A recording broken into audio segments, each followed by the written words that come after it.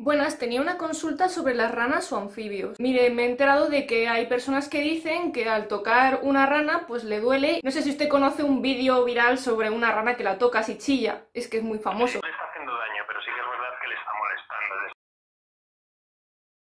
El tema en particular, si aún no te has enterado, es ¿está bien tocar las ranas con las manos secas o tocarlas en general o les duele cuando el tacto humano les toca?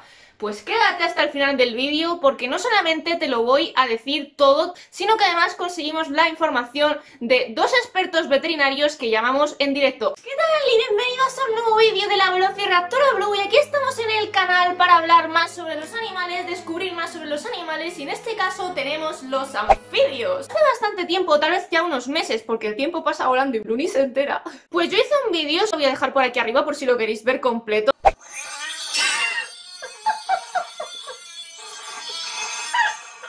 Todos conocemos ese típico vídeo viral de una ranita que la tocas y se pone a chillar y a hincharse. Entonces, hay muchísimos debates sobre lo que le están haciendo a esa rana, sobre si el animal está sufriendo, sobre si está bien y la verdad es que uno de ellos, y el más importante diría, es una cosa que me pusieron en los comentarios pues porque prácticamente la persona eh, estaba segura de que lo que estaba haciendo yo en ese momento video reaccionar a ese animal estaba mal porque supuestamente era maltrato y a lo mejor el que lo hacía ni se enteraba de que era maltrato. Pues os voy a explicar para que lo entendáis mejor.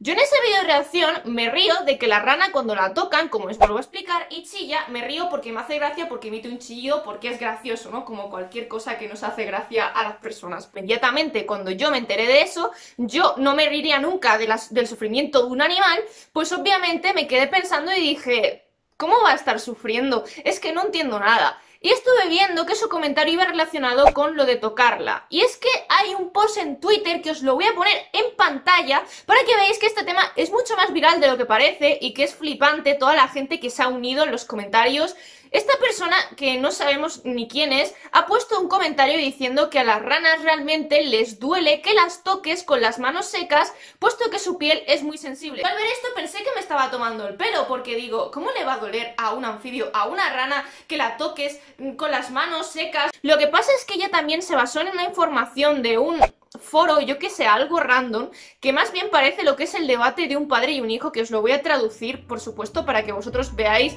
a lo que me refiero y todos podáis seguir la historia perfectamente. En principio lo que sale en este artículo son varias cosas sobre los animales, como podéis observar, aquí estamos viendo sobre más eh, tipos de animales que no se relacionan con las ranas, que le están diciendo los hijos al padre, supuestamente es...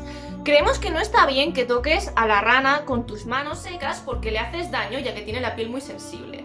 Si traducimos lo que es el texto del pie de foto, que creo que se dice así, sale el texto debajo de la foto para que todos podáis entender, nos diría lo siguiente. Siempre que vayas a manipular a un anfibio o rana, por supuesto, tienes que tener las manos mojadas y nada de jabón.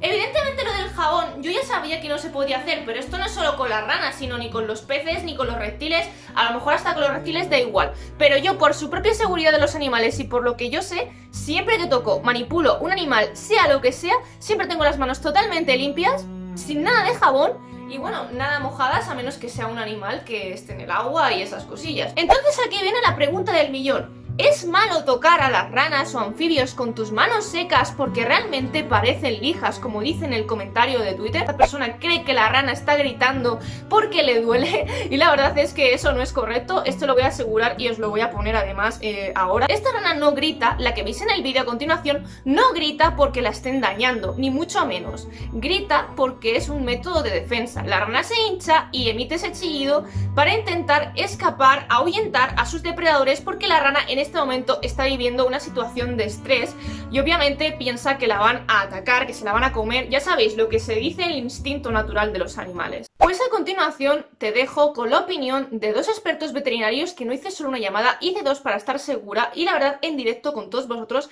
para que sepáis si está bien o no lo de tocar una rana o anfibio con tus manos secas. Hola, buenas tardes. ¿Sí? Sí, exacto. Eh, sí, bueno. Eh, no es que sea una rana en particular, es una duda que tengo, porque yo he tenido ranas a veces y bueno, pues las he cogido y hay gente que dice que si las tocas por, em, por la piel con tus manos secas le duele. Entonces yo quería saber si es verdad. Claro, el problema que sabemos que las ranas al, tener una piel húmeda, humectante y súper delicada, si tú con tus manos secas eh, le deslizas por la piel, le puedes desgarrar sin de que tú lo veas la superficie externa. Entonces, por eso no recomendamos tocar con, con las manos secas, sobre todo y con las manos, porque le podemos transmitir patógenos. Mejor es no tocarlas, vale. No sé si usted conoce un vídeo viral sobre una rana que la tocas y chilla. Que ese, ese vídeo eh, le están haciendo daño, entonces yo eso, mm, pues me gustaría saberlo, si es verdad que le están haciendo No, no, daño. no le está haciendo daño, pero sí que es verdad que le está molestando, le está estresando, porque al final, Hmm. eh, al, al tocarle el animal, está viendo como un depredador ahí que le está tocando y se está defendiendo. No le está doliendo, pero le está defendiendo y la está estresando. Claro, es una defensa natural lo que está haciendo la rana. Correcto, sí. Le molesta y le estresa muchísimo. Ok, pues muchas gracias. Venga, nada, un saludo. Buenas, tenía una consulta sobre las ranas o anfibios. Yo tengo una duda de si a los anfibios tú les tocas con las manos, ¿a ellos les duele por tener la piel muy sensible? No es que les duela, es que les quita su capa protectora. Hmm, entiendo. O sea que eh, realmente no es recomendable tocar los anfibios. No. O sea, es que le explico, eh, se ha hecho viral un vídeo hace bastante tiempo de una rana que la tocan y se hincha y chilla. Entonces muchas personas piensan que le están haciendo daño. Entonces yo querría saber si es verdad. En principio, el tocar al, al anfibio no tiene por qué ser doloroso, pero Ajá. le quitas la mucosa protectora de, de su piel. Y luego, además, Claro. como tienen absorción por vía cutánea, eh, al final absorben trazo de tus manos. Si tienes bacterias, también las pueden absorber. El anfibio contra menos tocarlo mejor. Vale, pues muchísimas gracias. Eso era todo. Nada. Una vez que hemos visto estas explicaciones, repito, de expertos por motivos de privacidad y cosas que ya sabéis, no puedo decir a qué veterinarias, clínicas veterinarias he llamado, ni qué personas son, porque obviamente es una consulta por llamada. Lo único que puedo decir es que he llamado a dos clínicas veterinarias exóticas, eh, diferentes unas de las otras. La chica que he hablado en el vídeo es una veterinaria que trabaja en otro centro, a diferencia del primero que nos ha contestado. Sabemos que aunque no le hagas daño a un anfibio, como nos ha explicado la veterinaria anteriormente, no deberías tocarle con tus manos secas. O sea que realmente el comentario de la chica que puso en Twitter no está del todo desinformado. Pero basarse en un artículo que ni siquiera tenía validez científica para de- decirlo, pues no ha sido muy correcto. Entonces yo lo que he hecho ha sido informarme mejor en veterinarios y tal, porque claro, yo no soy experta. Por mucho que quiera saber de animales, no sé todo sobre ellos y mucho menos sobre los anfibios, por lo que me he dado cuenta he descubierto algo importante que no sabía. Yo en este caso me retracto del comentario que escribí, que os lo he puesto ya, o sea que sí, pido disculpas.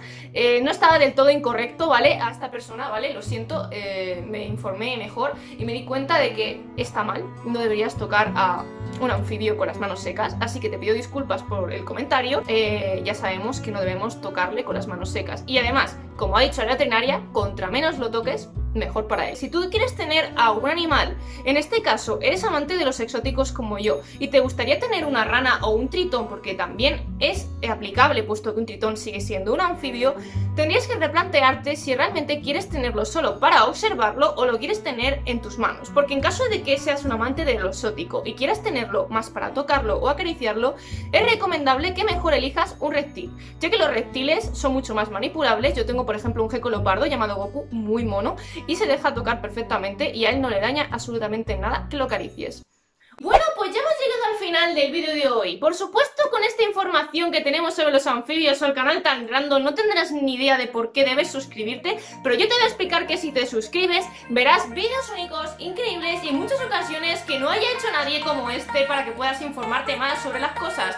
Son bastante curiosos, así que sí que te recomiendo que te suscribas. Y por supuesto, si tienes alguna cosa que decirme en los comentarios, denle respeto, yo acepto cualquier tipo de comentario. Si me decís algo también me lo puedes dejar por los comentarios. Así que sin nada más que decir, finalizo este vídeo. Si te ha gustado no olvides dejarme un super like, únete a la manada, haz clic y recuerda que nos vemos con más y mejor en los siguientes vídeos de la Velociraptora Blue. Así que nada más Velociraptores. Un saludo para todos y a todos los anfibios que tengáis también.